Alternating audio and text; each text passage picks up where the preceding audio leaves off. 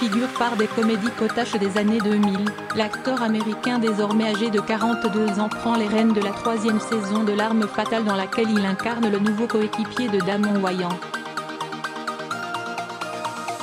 Un retour dans la lumière qui a aidé la chaîne Fox à éteindre la polémique suscitée par le licenciement de Clay Crawford. Le feuilleton qui se tramait en coulisses a plus été commenté que la série en elle-même. Il faut dire que le scandale qui a entouré la deuxième saison de L'arme fatale contenait tous les juteux ingrédients d'une polémique croustillante.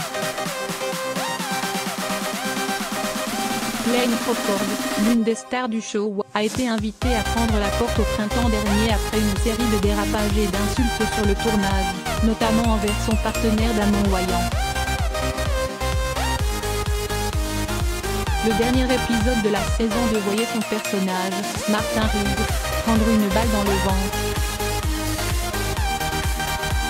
Une sortie toute trouvée pour les scénaristes qui ont offert au personnage de Roger Murtaugh à un nouveau binôme, introduit dès le premier épisode de la saison 3, diffusé à l'automne aux États-Unis et ce mardi 12 mars sur TF1. Les téléspectateurs français découvriront donc Wesley Cole, un ancien agent de la CIA au gros bras et au grand cœur dont le casting était essentiel. Et s'est avéré au final plutôt surprenant, car le rôle a fini par échoir à un visage bien connu du public américain. Depuis ses débuts dans la saga américaine puis il y a 20 ans, Sean William Scott a enchaîné les personnages dans la veine de Stipley. Lourdingue, à l'humour gras et sans limite.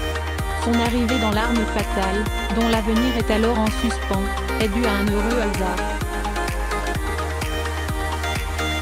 L'acteur américain de 42 ans vient présenter un projet de série comique dans les locaux de la Fox quand il est repéré par la production. On m'a dit qu'il était génial et on m'a demandé ce que je pensais de lui pour un nouveau personnage.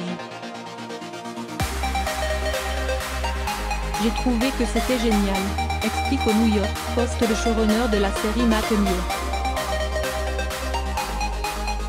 J'ai demandé à Warner Bros s'ils envisageaient de reconduire la série avec un nouvel acteur.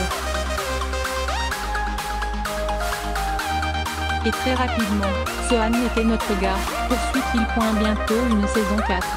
Une respiration pour la carrière de Sohan William Scott qui, sans vouloir faire offense à son talent, avait quelque peu disparu des radars à l'international avec 5 films en 5 ans qui n'ont pas traversé l'Atlantique.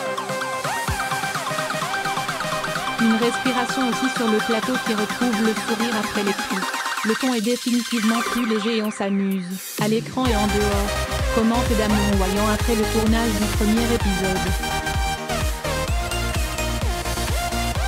Le showrunner évoque lui deux premières semaines absolument enchantées. Les équipes sifflent et les critiques retrouvent la dynamique qui faisait le succès de la série jusqu'à présent.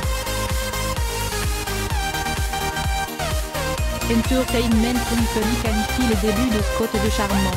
Digital Spy assure qu'il est convaincant dans la peau d'un héros de film d'action et a une certaine alchimie avec Wayans. Deadline dit de lui qu'il est le remplaçant parfait. Du côté des audiences, rien de révolutionnaire. Quelques 3,45 millions d'Américains, contre 10 millions pour le lancement de la nouvelle saison de This Is à la même heure, se laissent tenter par la première du nouveau duo.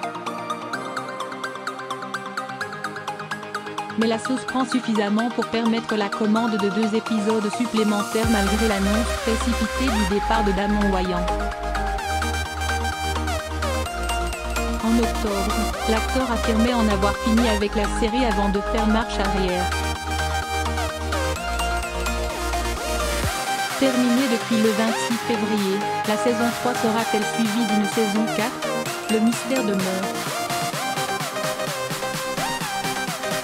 Si les chiffres ne sont pas exceptionnels, L'arme fatale reste la cinquième série dramatique la plus regardée de la chaîne Fox, qui n'a pas encore pris la décision sur son avenir.